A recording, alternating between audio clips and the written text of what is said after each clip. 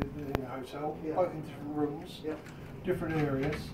And I was doing the breakfast shift, and one lady came down. She said, uh, "I had someone sat on the bed next to me last night," and she was on her own. So I said, "Oh, that's very strange." She said, "I could feel the weight of them sitting on the bed. There was no one there." I was like, "Okay, that's fine." So after a couple of hours, another lady came down. They'd never met each other before. I just pointed out, and she said, "A funny thing last night." She says, "I had someone sat on the bed with me." This Oh. is the same morning. And she said, I shouted, go away, and it did. So, leave that one We'd to say, you. come here, stay, That's, talk that's, to that's us. Louise, by the way. You can get her in the video. Ah, hi. That's your friendly neighbourhood housekeeper. Hello, Louise. Hello. We take you to room 11? All right.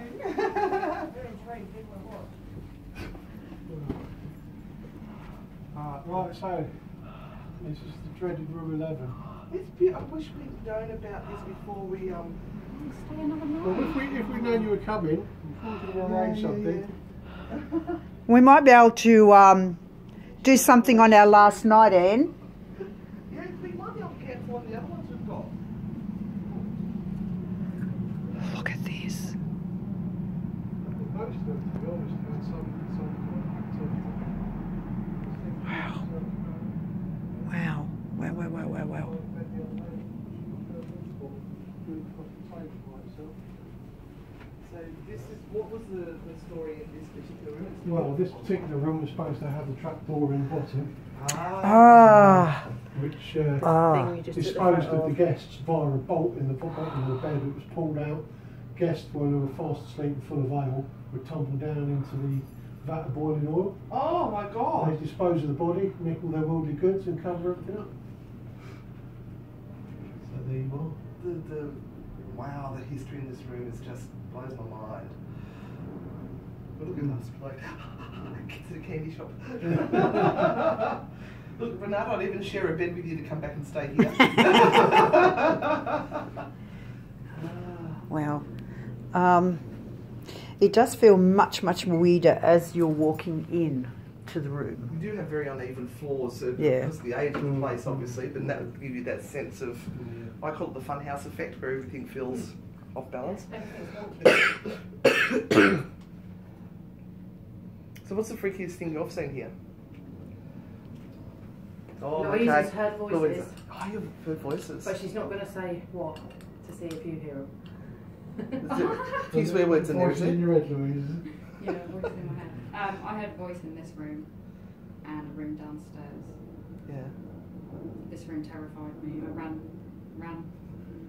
Really? Yeah, because you can hear how quiet it is in here, and it was a really loud. I don't know what it said, but it was really loud, and it was very close to me. And um, yeah, I sort of froze, and I was like, "Hang on a minute, I'm the only human in here," and just went. I was out straight out the door, shaking. Yeah. I've got a digital recorder. Should we? Well, you're the, the, the medium. What are you to pick, pick Yeah. up here? Uh, I'm just hearing, here's another one. Here's another one. It's not us. We're not the Mm. not the rich pigs. the fat pigs, isn't that what they call them? Mhm, There's yeah. another fat pig. I'm just feeling a lot of frustration from the woman, the wife. I don't know whether she was into it to begin with. She may well have been later on when money started pouring in. Yeah? When money started pouring in, maybe her demeanour changed with it. But to begin with, she wasn't into it. It used to make her feel really ill. She, she would feel really sick because that's what I felt out there. I felt like she was wanting to vomit every time she wanted to come in here to kind of, you know, be a part of this whole task. But then at some point, something changed, and she became as ruthless and as horrible as as her husband to do it all. But I don't think to begin with, she had anything. okay. Oh, don't you love it when she does that? Do we know if they had any children? I don't, I don't know. But you heard a little girl and a woman. Yeah. Yeah. I'm getting something about children with her. I think that at some point in time she may have lost a child, and that's what's turned her. that's the point when, when she became a changed woman. Because there's something about a child. Oh God, there's so many tears now. I'm not coming in this room on my own. Um, there's something about a little child that is really, really heartfelt with her. She can't let go of this, and that's that's a real sadness. And it's interesting because I see her hanging on to two as she walks up and down the stairs. But then there is one. I can't get the, the internet to hold in this room, so it's really interesting. It's just like, nah. They, they don't want you. Yeah, they don't want you to. That's okay.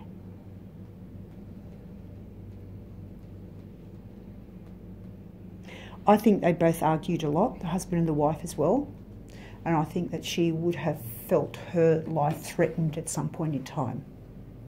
Because it's like I actually feel his hands around her throat.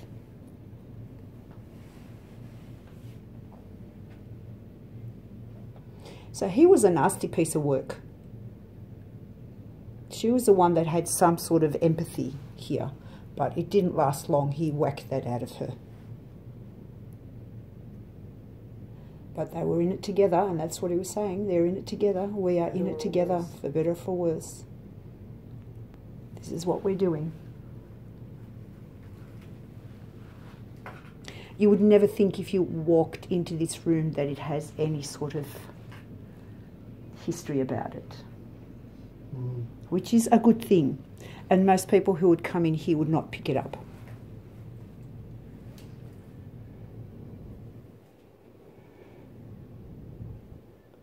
But there is this real trepidation as you're walking just down this hallway here. There's this like this feeling of being stopped. I want to stop. I want to stop. I don't want to walk in here. Uh, and I think that is from her. With the actual way they were killed, though, like the people themselves wouldn't have had the anticipation or the fear that they were about to die. Yeah. So therefore, that doesn't soak into this room as such. Yeah. So people in here may not pick up on it as much, I reckon. Although they may be aware of um, the people who have died. Some they don't. prob- Some of them probably don't realise they're dead. Mm. It would have happened so quickly if they chopped off their heads. Oh my god. So you may have just lost souls that are wandering.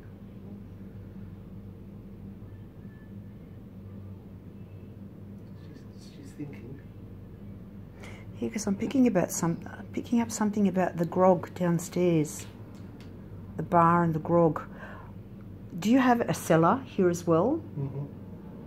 Something about the cellar. The cellar's on the ground floor now. Yeah.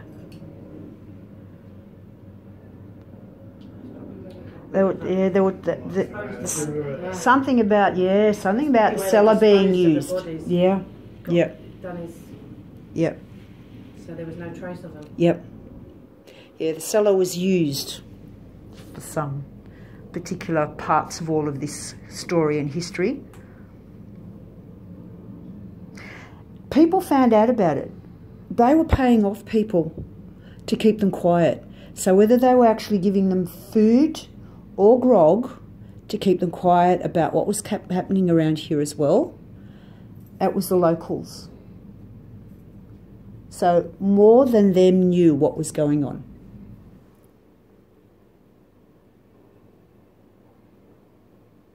Interesting.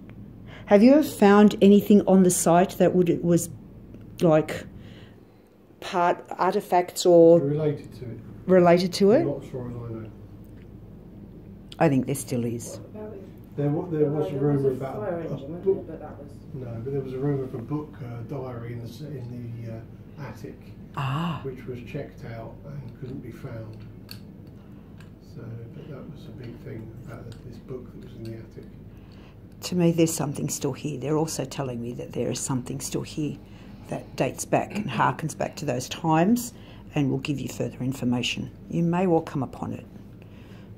I'll ask them to lead you to something before I go. There's something still here.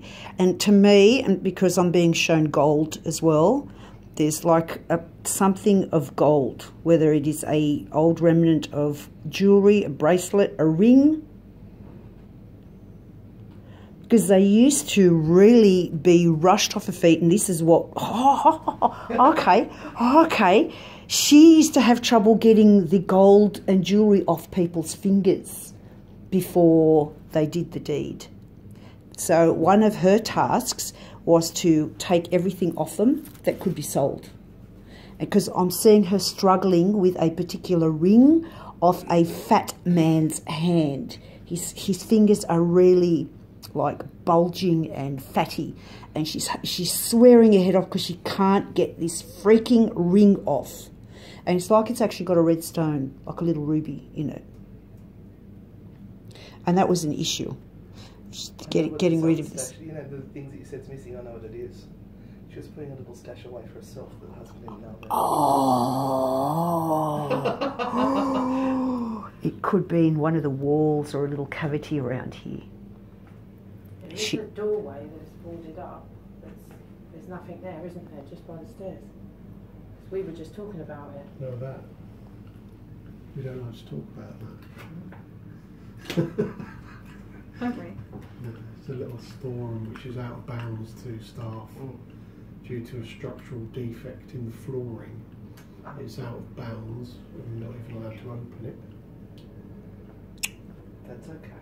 Have they padlocked it I don't know what you're talking about. You know exactly what I'm talking about. don't. Just have to have a look at the door. then it Have a look at the door. No, Well, look at talked the- about At the top of the stairs, Yeah, the- there used to be a door. Thank you. Thank you, thank you, thank you, thank you, thank you, thank you, thank you. It's not- it's never been tried. Becky, you're staying.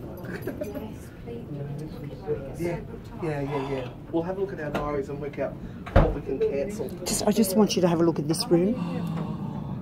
Um, we, This is the out of bounds room.